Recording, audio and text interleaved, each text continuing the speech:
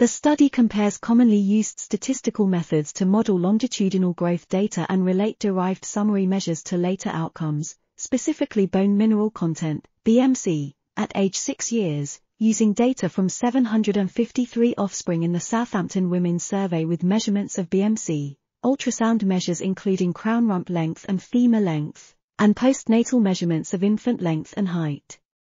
The methods used include a residual growth model, two-stage multilevel linear spline model, joint multilevel linear spline model, SITAR, and a growth mixture model.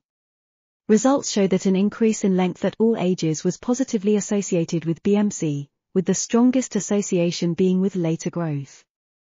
The study highlights the need to understand the similarities and differences in results from different analytic strategies in the context of each statistical methodology.